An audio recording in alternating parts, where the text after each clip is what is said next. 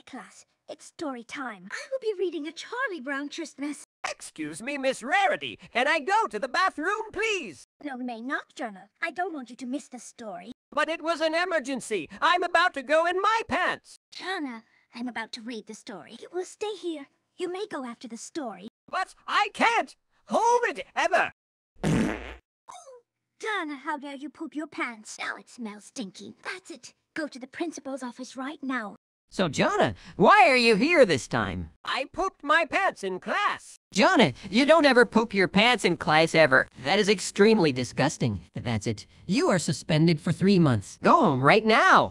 Jonah, I can't believe that you pooped your pants in class and got suspended for three months. That's it. You're grounded, grounded, grounded, grounded, grounded, grounded for three months. Go to your room right now and never come out until you are grounded. No, no, no, no, no, no, no, no, no, no, no, no, no.